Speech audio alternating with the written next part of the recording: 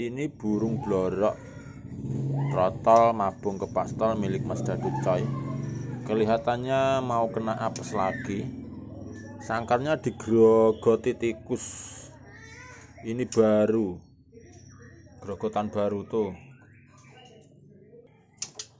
Ini bekas krokotan tikus. Iki kayak gini nih. Padahal tempatnya ki ya wis tak tempatkan yang paling aman ya.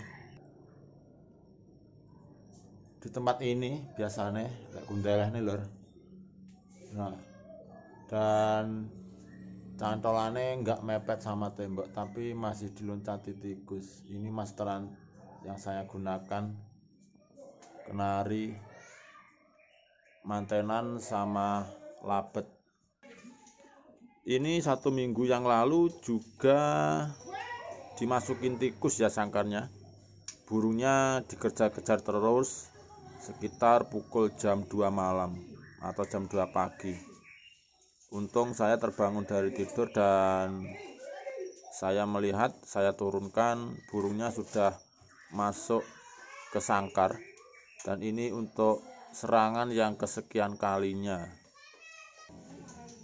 Di sebelah sini juga dicacah lor ini gripis-gripis tinggal separuh ini rujinya.